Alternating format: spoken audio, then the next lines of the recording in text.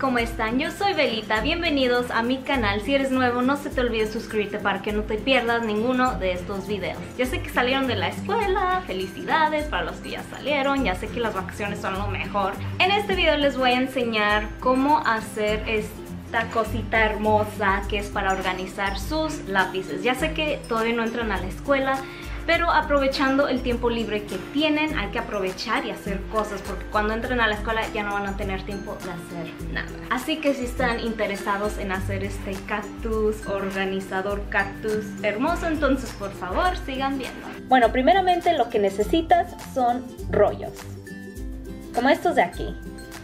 Aquí yo voy a más o menos medir y cortar hasta aquí más o menos. Cortamos y tengo rollitos de diferentes tamaños.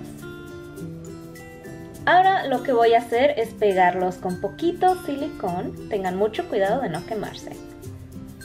Y las voy a pegar de esta manera, asegúrense de que quede derechito. Después voy a empezar a pintar mi cactus blanco porque yo empecé a pintarlo verde y no funcionó, así que lo tuve que pintar de blanco. Y después aquí lo voy a pintar de verde.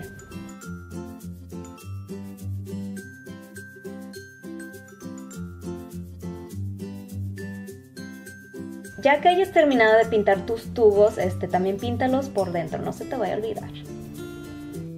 Ahora voy a agarrar un color un poquito más oscuro este, y voy a hacer unas rayitas así con mucho cuidado como ustedes pueden ver aquí.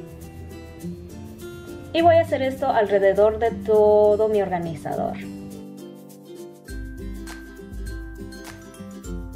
Ahora pongan mucha atención, aquí con un palillo este, y con pintura blanca voy a hacer como una X, ¿cómo explicarlo? Un tipo estrellita y estas van a ser las agujitas del cactus o como se diga, no, no recuerdo. voy a hacer esto con muchísimo cuidado. Ah, creo que se llaman espinas. Y listo, así nos queda nuestro cactus. Vean qué bonito. Y para que parezca más como un cactus, este, le voy a pegar estos pompones rositas. Ya ven que unos cactus les ponen unas cositas arriba muy bonitas. Y así es como nos debe de quedar. Lindo, ¿no?